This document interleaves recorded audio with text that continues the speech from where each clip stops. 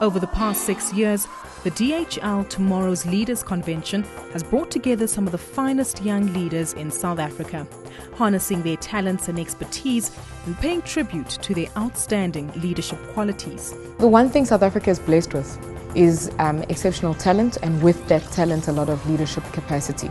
Our leadership is not perhaps shown on many issues, demonstrated boldly at as many platforms as it could be. If you look at the young people that are here today, those are the leaders that we want to employ in our business. Those are the kinds of people that we want to do business with. Investing in education was emphasized as an important element in grooming the leaders of tomorrow.